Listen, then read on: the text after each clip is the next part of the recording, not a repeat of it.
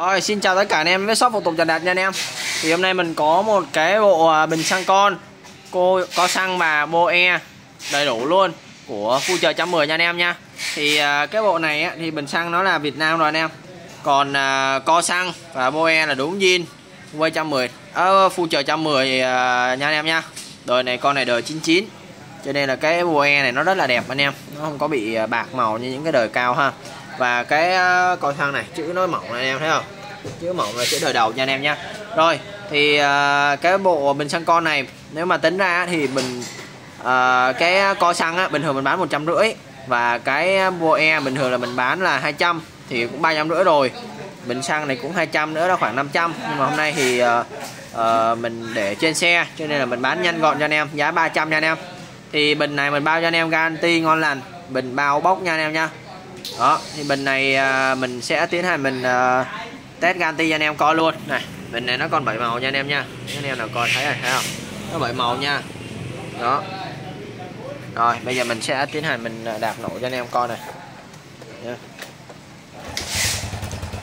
Đó anh em. Ha ganti rất ok luôn. Đó anh em garanti nổ rất là ok rất là nhẹ nha. Này mình sẽ mở nhỏ hơi xíu nữa này.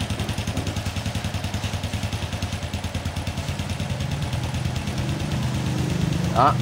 Anh em thấy không? Garanti nổ gần như là không nghe tiếng luôn nha anh em nha. Rất là ok đó tuyệt vời luôn. Thì bình này bán giá nhanh gọn cho anh em 300 ngàn. Anh em nào có nhu cầu anh em hãy liên hệ mình đầy đủ nha. À, co xăng bình xăng con. À, boe tặng luôn em dây ga nha anh em nha. Tặng luôn em dây ga về chúng ta sử dụng luôn cho nó ngon lành. Đó thì ờ, một bộ và chỉ 300 ngàn thôi. Những anh em nào chúng ta đi các cái loại xe như là xe Trung Quốc á thì anh em cũng có thể lên cái bộ này chạy bao anh em ngon lành luôn mùa mưa không sợ nước vào bình nha anh em nha. Đó thì anh em nào có nhu cầu thể liên hệ với mình giá 300 ngàn cho bộ này nha anh em nha. Rồi cảm ơn em rất là nhiều hẹn anh em những clip tiếp theo nhá mình sẽ quay bên uh, kia cho anh em coi luôn. Đây bên này. Đây bên này nha anh em. Này bát e còn vàng đẹp nha anh em nha. Đó anh em. Này. khóa xăng ngon lành nha không chảy xăng nha. Này khóa xăng này e này kéo lên này. Đấy này, bát e là còn vàng luôn này. Nha, anh em nha.